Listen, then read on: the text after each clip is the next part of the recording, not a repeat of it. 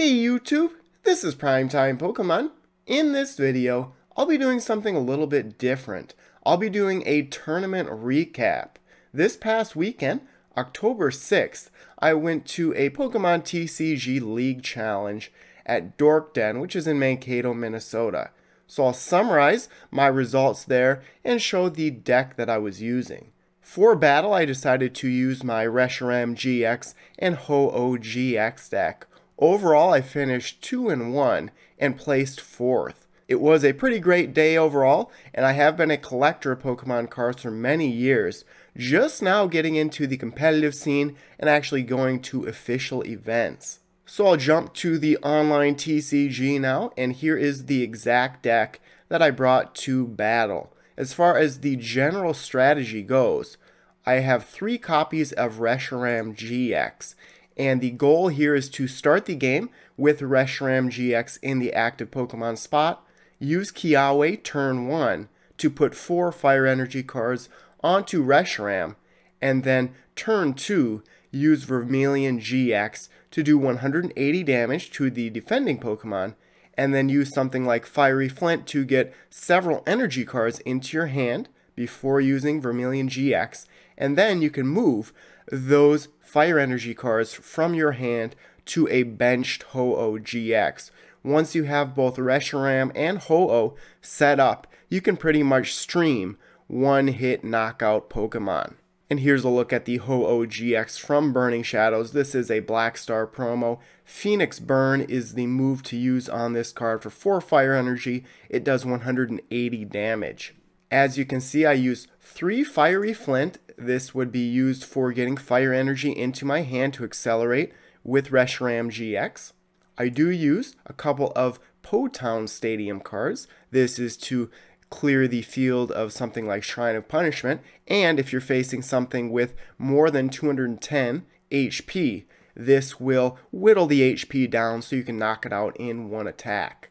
And then I use both Wishful Baton and Energy Recycler to make sure that I never run out of energy. I do have 14 fire energy in the deck. So round one in this league challenge was pretty brutal for me. I faced a Gardevoir GX Sylveon GX deck. And it was pretty much the worst possible matchup. We were playing best of three, and I got slaughtered in two games. I think I was able to take two prize cards, knocking out a Sylveon, but that was it.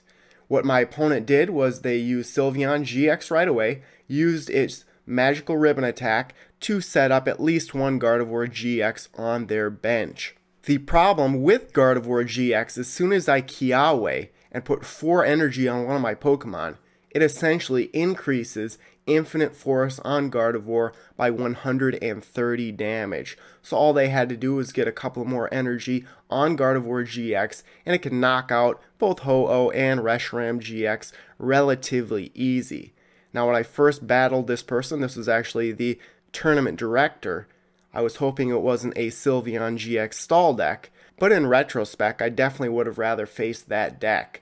So they just rolled with Gardevoir GX the whole time, and I really had no way to stop Gardevoir GX from doing major damage every single turn with infinite force. In both games that I played, they were able to get Eevee out in the active Pokemon spot to start the game, Magical Ribbon, and then just go right to Gardevoir GX.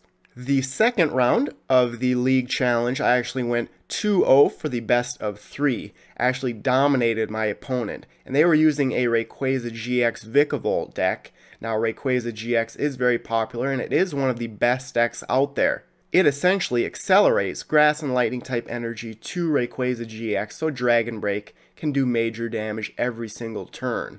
I was lucky enough to be able to set up my Pokemon faster than they could attach energy cards to Rayquaza GX. So if they'd attach two or three energy cards to a Rayquaza, I would just Guzma that Rayquaza into the active Pokemon spot, and then I would either knock it out with either Ho-Oh or Reshiram.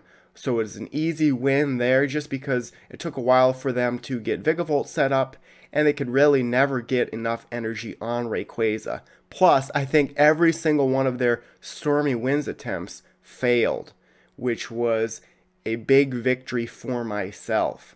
And then I believe they did use Latias Prism Star in the deck to help speed up Rayquaza GX, but then they couldn't get any energy cards in the discard pile.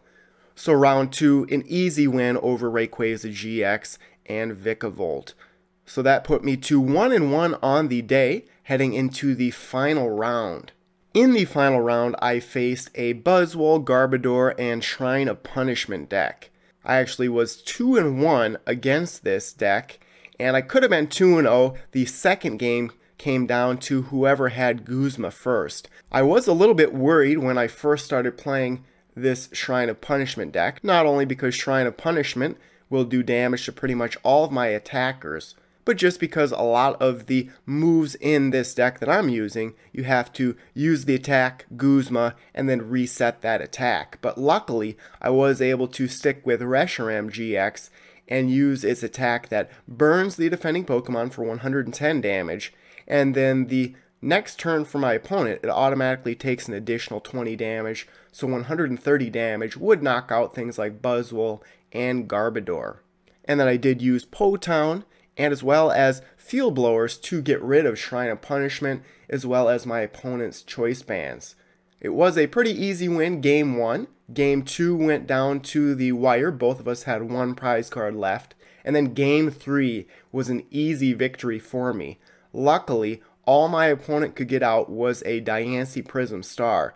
I actually gave my opponent two mulligans, and then they had Cynthia in their hand their first turn as well. They could not get another bench Pokemon into play. So all they had was their active Pokemon. Turn two for myself, I went first. So Kiawe, I set Reshiram GX up so it was ready to attack. And then I had Tapu Lele GX in the active Pokemon spot. All I needed to do was draw one Fire Energy card on Cynthia to be able to retreat Tapu Lele GX.